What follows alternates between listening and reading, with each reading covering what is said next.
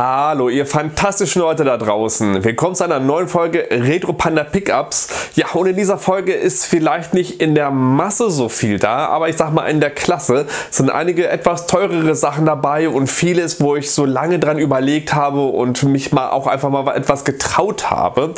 Kleiner Tipp, äh, das Video vom letzten Sonntag, das war so eine Sache, aber wie es genau dazu gekommen ist, erzähle ich euch gleich, wenn ich euch die Pickups dazu quasi zeige oder wie man es auch sagen will. Es kommt natürlich nicht immer darauf an, wie viel Kohle man jetzt für seine Sammlung rausgekloppt hat, sondern ich finde, es kommt immer darauf an, dass man schöne Sachen für sich gekauft hat, auf die man wirklich Bock hat. Ne? Immer, immer so Masse, Masse, Masse kaufen, egal Preis und sonst was. Das ist irgendwie nicht so meins mehr. Also äh, am Anfang der meiner Retro-Sammelei habe ich wirklich immer so sehr, sehr viel Masse ge gekauft, wenn ich bedenke, was ich am Börsen immer für volle Taschen rausgeschleppt habe. Deswegen bin ich jetzt auch momentan auch so hier und da mal so ein bisschen meine Sammlung um etwas umschichten. Ich verkaufe so ein paar Spiele, kaufe mir dafür wirklich mal Sachen, auf die ich wirklich so Bock habe. Aber ich würde sagen, äh, genug zur Panda-Sammelphilosophie oder wie man es nennen will. Fangen wir mit den Pickups an und ähm, ich äh, nehme diese Folge etwas im Voraus auf, deswegen weiß ich nicht, ob das schon gelaufen ist. Aber ihr habt es wahrscheinlich äh, schon gesehen. Im Zweifel müsste es im Sendeplan jetzt der Mittwoch vor diesem Video sein. Und zwar Wario Land für den Virtual Boy. Wunderbares Spiel, zählt eigentlich zu dem besten Virtual Boy Spiel überhaupt. Ich habe es mir jetzt aus Japan geholt als äh, Old New Stock, das heißt es war noch brandneu. Das habe ich auch gemerkt, deswegen habe ich es auch gleich hier in so eine schöne äh, Case reingepackt. Und ähm, ich war wirklich scharf auf das Spiel, weil dieses Spiel wird immer und immer wieder gelobt und ähm, da ich jetzt unter diese Virtual Boy Sammler, sage ich mal, gegangen bin und es da eigentlich relativ noch relativ leicht äh, an gute OVP-Spiele in sehr, sehr gutem Zustand heranzukommen ist, ähm, dachte ich mir, hey, das gönnst du dir mal, weil das ja wirklich dieser Vorzeigetitel ist. Und ich weiß nicht, ob ihr den Test schon gesehen habt. Wenn nicht, holt das bitte nach. Es ist wirklich ein Hammer-Spiel. Also mit den Wario Land-Spielen auf den Game Boy, auf den klassischen, da bin ich äh, ehrlich gesagt nie so wirklich warm geworden. Ich ähm, hatte die damals nicht gespielt und habe jetzt in der Retrospektive, haha, ich habe das, äh, ich, ich habe ja so einen kleinen Sprachfehler. Ich sage gerne mal Retroperspektive, obwohl es natürlich Retrospektive heißt. Ähm, ich achte da auf mich. Ich wurde da ja aufmerksam drauf gemacht an dieser Stelle. Vielen Dank. Äh, ihr kennt es vielleicht selber. Wenn, wenn ein falsches Wort irgendwie so eingespeichert ist, das braucht so eine Zeit, bis man das korrigiert hat. Aber jedenfalls ich schweife mal wieder ab. Ihr kennt mich, ich schweife immer gerne mal ab. Ähm, auf jeden Fall äh, habe ich das gespielt, getestet. Ich bin, äh, wie gesagt, mit den Wario Land Spielen auf den Game Boy nie so warm geworden, weil ich äh, auch damals die nicht so gehabt habe. Und im Vergleich zu Super Mario Land 1 und 2, der steuert sich halt sehr schwerfällig. War nie so meins. Aber jetzt auf dem Virtual Boy, boah. Also ist ohne Witz auch wenn ihr keinen Virtual Boy habt, ähm, das Spiel hat den großen Vorteil, es hat zwar diesen 3D-Effekt, aber es ist eher so Makulatur, ein bisschen, man muss ihn nicht haben. Also es gibt so manche Virtual Boy Spiele, wie zum Beispiel V-Force, wo ja, das ist ein Shoot'em wo er wirklich auf zwei Ebenen spielt. Da erleichtert es enorm, wenn ihr das wirklich auf der Original Hardware spielt. Aber das Ding, das könnt ihr auch bequem auf einem Emulator spielen und es macht einfach wirklich Spaß. Also es ist ein wirklich richtig geiles Wario Land Titel. Äh, die Level sind nicht ganz so geradlinig aufgebaut. Ihr müsst so ein bisschen rumgucken ein bisschen suchen, dass das hier was findet, äh, weil braucht immer so einen Schlüssel, um den Ausgang quasi zu öffnen. Wunderbare Spiele, holt's nach, wenn ihr das auf jeden Fall auf einem Emulator spielen wollt. Es lohnt sich wirklich. Es gibt auch Emulatoren, müsst ihr einfach mal ein bisschen googeln, die das nicht so ganz mit diesem grellen Rotton machen. Ihr seht ja auch mein Virtual Boy Test, das ist so ein bisschen runtergedampft, dass man nicht so kompletten Augenkrebs kriegt irgendwie. Spielt es, ich bin sehr froh, dass ich das in quasi geleckten Neuzustand bekommen habe. War natürlich jetzt fairerweise auch nicht ganz billig, ähm, aber glücklicherweise, ich ich habe mir den Zoll gespart. Ihr kennt es ja ab und zu mal, wenn die ausländischen Verkäufer den einen anderen Wert äh, auf der Deklaration aufschreiben und mitdenken, als, als es eigentlich ist. Deswegen nicht verkehrt. Ähm, bin ich wirklich sehr froh darüber, dass das in meiner Sammlung ist auf jeden Fall. Aber genug Virtual Boy, das wird viele von euch nicht so interessieren. Ich habe natürlich auch ein paar Gameboy-Spiele mir gegönnt. Und zwar fangen wir mal an mit Bustle Move 3DX. Ihr habt es vielleicht auch schon gesehen, auch darüber habe ich auch schon ein Testvideo gemacht an dieser Stelle. Es ist im Prinzip dieses äh, Bust-Move-Spielprinzip. Das ist ganz einfach. Ihr kennt es wahrscheinlich von tausenden Handyspielen. Das wird immer und immer mal wieder aufgelegt und es gibt, glaube ich, wirklich tausend verschiedene Varianten. Ihr habt in der Mitte quasi ein Katapult mit verschiedenfarbenen Kugeln und oben habt ihr ein Spielfeld, wo ganz viele andere Kugeln in derselben Farbe sind. Ich, ihr seid alle erfahrene Spieler. Ich muss euch wirklich nicht erklären, wie das Spielprinzip geht. Ihr müsst anpeilen mit der Kugel und zack, drei Kugeln kombinieren mindestens, dann verschwinden die. Kennt ihr? Macht Spaß, äh, dieses Spielprinzip ist nicht umsonst so oft geklont worden. Auf dem Gameboy funktioniert es auch erschreckend gut, sage ich mal. Ich war so ein bisschen skeptisch, weil es sind ja immer diese verschiedenen farbenen Kugeln. Aber mit den Kugeln, Gameboy, naja, Schwarz-Weiß-Display, na, na, na, ob das so gut geht, aber die haben zum Glück mit den Schattierungen da eigentlich ganz gut gespielt, dass man das auch ganz gut auseinanderhalten kann. Jedenfalls ich habe einen Test gemacht, deswegen werde ich das Spiel jetzt nicht so über überborn vorstellen. Ist für Puzzle-Freunde ganz gut, aber ja, kein Must-Have. Aber eigentlich geschichtlich, weil dieses Spielprinzip ja immer noch lebendig ist, eigentlich gar nicht so verkehrt. Es gibt auch einen Vorgänger. Ich habe jetzt nicht im Kopf, was da jetzt äh, groß unterschiedlich, groß anders ist zu dem Titel. Ja, braucht man aber auch Glaube nicht. Dann habe ich noch ein sehr schönes Spiel mir geholt, äh, wo ich schon lange, lange dran gesucht habe. Ist auch nicht eins der ganz, ganz billigen, ist kein überteures, aber man kriegt sie nicht gerade hinterhergeworfen. Und zwar Ghostbusters 2. Habe ich schon oft von euch und viel von vielen gehört. Das Spiel ist wunderbar, ist hammergeil. Spiel da auf jeden Fall mal rein. Jetzt habe ich es endlich mal für meine Sammlung mir besorgen können. Und ich muss sagen, ich bin begeistert. Also an dieser Stelle auch, ähm, ihr merkt schon, ich produziere wirklich immer so ein bisschen vor, versuche ich, äh, weil wenn ich mal immer die Muße habe und Bock drauf habe, dann produziere ich lieber mal ein Video zu viel, dass ich so meine Motivation ausnutze, um dann später was auf der Bank zu haben, falls ich mal dann keine Lust habe, dass ich mal auch mal eine Woche nichts machen kann. Und ähm, den Test habe ich jetzt schon vorbereitet. Ich habe schon das Skript geschrieben. Ich habe die Videospielaufnahmen schon abgedreht. Muss jetzt nur noch irgendwie alles zusammenschneiden, ein, einsprechen und so weiter, was alles noch dazugehört. Das Nervige, sage ich mal. Und es ist wirklich wunderbar. Ähm, bei Ghostbusters, ich war damals ein riesiger Ghostbuster-Fan. Ich wollte mich sogar zu Karneval, äh, beziehungsweise zu Fasching, ich komme ja eigentlich aus dem Norden, da heißt das Fasching, äh, in der Grundschule mal als Igen verkleiden, weil ich die so geil fand mit seiner tolle, also Igen war immer dieser Wissenschaftler, das war immer so mein Lieblingscharakter. Charakter irgendwie. Und Ghostbusters war halt wirklich der große Scheiß. Ich hatte da Spielzeug, ich hatte da so ein, so ein, ähm, so ein VW Beetle, so, so einen gelben, wo man auf den Knopf gedrückt hatte und dann kam mal so, so ein Heuschreckengeist raus, irgendwie ganz wild. Äh, also mein Bruder und ich waren da wirklich so äh, harte Ghostbusters-Fan.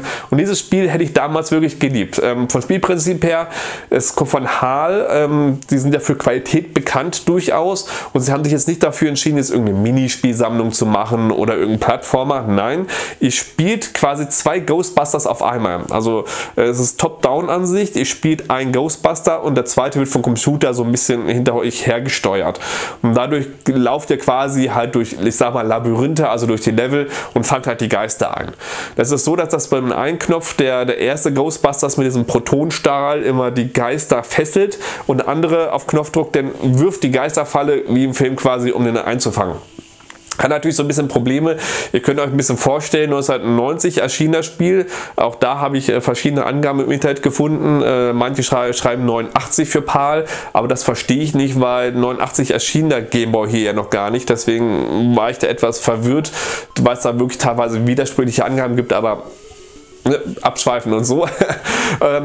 Aber ihr könnt euch vorstellen, da war es natürlich jetzt mit dieser Wegfindung des zweiten Charakters immer nicht so ganz leicht. Ähm, die bleiben, da bleibt schon mal so ein bisschen an Wänden stecken und so weiter. Wenn, wenn ihr aber so ein Gefühl dafür kriegt, könnt ihr das eigentlich ganz gut lösen, indem ihr euch anders positioniert und der dann quasi so nachrutscht, sage ich mal. Da hier und da ein bisschen nervig, aber schaffbar. Jedenfalls ein sehr, sehr geiler Titel, kann ich euch wirklich nur wärmstens ans Herz legen. Nicht nur, wenn ihr damals auch wirklich auch Ghostbusters-Fan wart. Zum nächsten Spiel. Ähm, das habe ich jetzt noch nicht großartig gespielt und zwar Speedball 2 für den Game Boy. Ähm, Speedball, ich weiß, das äh, hatte damals ein Kumpel auf den Amiga. Ich glaube, das ist, ist, äh, ist wenn mich nicht alles täuscht, ist es von den Bitmap Brothers, aber steine ich mich jetzt nicht, wenn ich das jetzt irgendwie falsch im Kopf habe. Und äh, ja, das ist quasi so, so eine Art Fan- oder Science-Fiction-Ballsport, so ein bisschen Handball mit äh, Gegner um hauen, wenn ich das richtig im Kopf habe. So ganz, ganz grob. Ähm, und äh, ich habe mich irgendwie daran erinnert, dass ich das bei meinem Kumpel damals auf den Amiga hoch und runter gespielt habe. Ich meine, es gab auch eine PC-Version, da bin ich mir immer nicht so ganz sicher. Und als ich da drüber gestolpert bin, dass es das auch fürs, für den Gameboy gibt, dachte ich, ach ja, so aus Nostalgiegründen mm, brauchst du das mal. Ich befürchte allerdings, dass das jetzt nicht so übergeil umgesetzt wurde, aber ich muss mal gucken. Früher oder später kommt auf jeden Fall auch ein Test für oder vielleicht eine Quetzig-Folge. Ich hoffe, es wird ein Test, also zur Grundorientierung. Ich mache eine Testfolge für ein Spiel, was zumindest so mittelmäßig gut ist. Für den Rest mache ich dann meistens eine Quetzig-Folge, weil ich dann keinen Bock habe, da ein langes Skript zu schreiben. Dann setze ich mich lieber hin, fluche ein bisschen über das Spiel und gut ist. Ähm, ich befürchte, dass das nicht so über über gut ist, aber äh, ne, fingers crossed. Ich, ich hoffe mal das Beste. Ich weiß, das habe ich mir geholt und äh, ja, Nostalgiegründe. Ich weiß nicht, ob es gut ist. Und dann bin ich über ein Spiel gestolpert, was ich äh, vom Namen her etwas interessant fand. Ich habe darüber noch nie was gehört und zwar Max. Das Cover, ihr seht, ist auch relativ nichtssagend. Ich habe jetzt auch da noch nicht so übermäßig reingespielt, nur hier für die Videoaufnahmen ähm, kurz mal eine Minute, dass ich hier so ein bisschen Gameplay einblenden kann.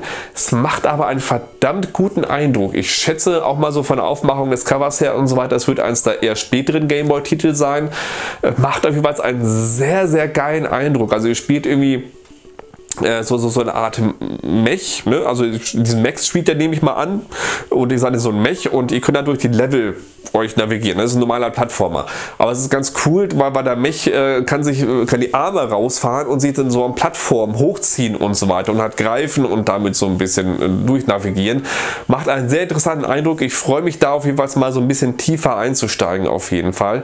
Auch da wird es früher oder später einen, auf jeden Fall einen Test zu geben. Hat auf jeden Fall für mich einen sehr, sehr positiven Eindruck gemacht und könnte vielleicht ein Geheimtipp sein. Also wenn das das Level so weit hochhält, also das Qualitätslevel, dann bin ich dazu zuversichtlich, einen echt guten Titel irgendwie äh, zufälligerweise erwischt zu haben, nur weil mich der Name irgendwie interessiert hat. Weil irgendwie, sagen wir mal ehrlich, Max das kann alles oder nichts sein. Ne? Das, das kann, kann irgendwie kann ziemlich geil sein, gerade weil es so simpel ist. Oder kann auch ziemlich scheiße sein, so nach dem Motto, die Entwickler haben sich keinen Namen, äh, keine Mühe gegeben, um da irgendwie einen vernünftigen Namen sich irgendwie auszudenken. Ich bin mal gespannt, wenn ich da mal tiefer einsteige.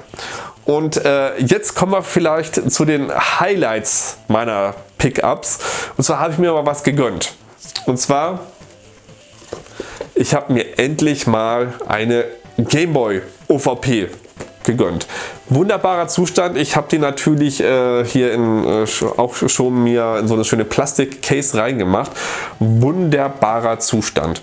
Und zwar wollte ich so eine Game Boy OVP, also ist auch komplett, ne? also Anleitungen sind dabei, Tetris ist dabei. Das einzige, was fehlt, ist äh, die, die original Game Boy Kopfhörer, ne? die, diese mit, mit dem blauen und roten äh, Kopfhörer. Aber die besorge ich mir, irgendwann besorge ich mir die auch mal keine Ahnung, wie, wie, wie, schwer oder nicht schwer das ist. Ich gucke einfach mal und ich habe da wirklich lange nachgesucht und ich bin da über eine Auktion gestolpert bei eBay. Äh, mal so aus, aus Langeweile und so, okay, super OVP, super Zustand, Gameboy sieht super aus, steigerst du mal mit. Ne? Also ganz billig sind Dinger nicht, wenn die OVP vernünftig sein soll. Und das endete irgendwie bei 310 Euro. Und dann dachte ich mir, Halleluja. 300 Euro, oh, das bist du aber nicht bereit auszugeben. Spoiler, also das ist es nicht. Dann habe ich aber ein anderes Angebot gefunden, wo ich jetzt aus dem Bauch heraus gesagt habe, jo, das passt. Ne? Hier, wie gesagt, die Verpackung, die sieht echt wunderbar aus. Darauf kam es mir eigentlich an. Nur halt der Nachteil ist der Gameboy, der dabei ist. Der hatte schon seine besten Tage ja, hinter sich. Es war jetzt nicht komplett durchgenudelt, aber ziemlich vergilbt und so richtig geil sah der halt nicht mehr aus. Da dachte ich mir, okay, dir kommt es ja eh auf die OVP primär an, also kaufst du dir das. Und dann dachte ich mir, okay, hm, du wolltest schon mal so ein Projekt machen. Ich habe mal so, so zufälligerweise letztes gesehen, hier so, so ein Display-Umbau und so, so ein Custom Gameboy Case. Ne? Ich habe irgendwo mal gesehen, dass, dass, dass da Leute sich äh, mal so ein Gameboy Case bedruckt haben lassen. Da dachte ich mir, okay, dann kannst du ja eigentlich daraus wirklich mal ein Projekt machen und diesen eher angegammelten Gameboy nehmen und dann mal so richtig geil machen. Natürlich mal hin und her überlegt, Videos geguckt. Das Problem ist nämlich, ich traue mich so, was Elektronik angeht, bin ich voll der Schisser. Das ist so überhaupt nicht meins. Ich kann nicht löten, habe ich noch nie gemacht. Ja, da habe ich so, so grundsätzliche Angst, da irgendwas falsch zu machen. Dann dachte, habe ich aber gesehen, dieser IPS3-Kit, das ist ein super Display, scheint aber ohne zu löten durchaus schaffbar zu sein. Auch so, so, für, so, so für Noobs wie, wie mich. Und dann, aber okay, wo kriegst du das alles her? dann habe ich in Deutschland ein bisschen geguckt, ein bisschen gegoogelt, ne, wo kann man sowas sich bedrucken lassen und so weiter, nichts gefunden. Dann auf Twitter gefragt und der Schmidt von der Schmitz Gamebox, an dieser Stelle viele Grüße an dich für den Tipp, hat mir einen Laden aus England genannt, Retro Six. Und äh, da habe ich gesehen, die haben gleich auf der Shop-Seite, kann man eine Photoshop-Vorlage äh, runterladen und das sich gestalten und die drucken einen das. Und da kann man auch hier das, das Kit gleich bestellen und Schraubenzieher dazu passen und so weiter. Und was soll ich sagen? Hier steht es das ist denn draus geworden. Ich habe es vielleicht, ich, ich, konnte es nicht erwarten, ich wollte eigentlich die Pickups äh, als erstes Video machen und dann das Umbauvideo. Ihr habt es vielleicht letztes, äh, letzten Sonntag gesehen, diesen, diesen, Umbau. Hammer. Also ich bin wirklich begeistert und seht das Video wirklich so ein bisschen so als, als falls ihr auch mal so ein bisschen Respekt habt vor diesen ganzen Geschichten, vor diesen Umbausachen ich habe auch Respekt. Ich hatte auch ein bisschen Schiss, weil ne, man, man kauft sich da irgendwie was äh, für, für, für, für 100 äh, Euro, ne, also das Umbaukit plus die Case. Das will man nicht verkacken. Das soll dann auch möglichst laufen. Und äh, ja, was soll ich sagen? Ich habe mich rangetraut und es geschafft. Und ich bin so begeistert, dass ich jetzt diese super OVP habe, plus so mein lang geträumtes Projekt, dass ich mal einen umgebauten Gameboy habe mit einem super Display und noch in meinem eigenen Design. Hammer. Also das kann ich euch wirklich nur empfehlen, wirklich äh, hat mir wirklich sehr viel Spaß gemacht und so viel auch ein bisschen Selbstbewusstsein gebracht, sage ich mal, mal so ein bisschen in so einem Gameboy rumgebastelt zu haben.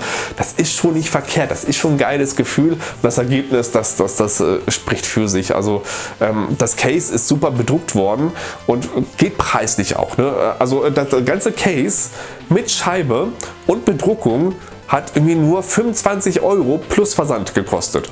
Geht würde ich sagen. Oder wenn, man, ihr schon alleine seht, auf Ebay irgendwelche Replacement Cases oder irgendwie sowas, kosten auch schon so, ich glaube so 10 bis 15 Euro, wenn ich das richtig im Kopf habe, je nachdem.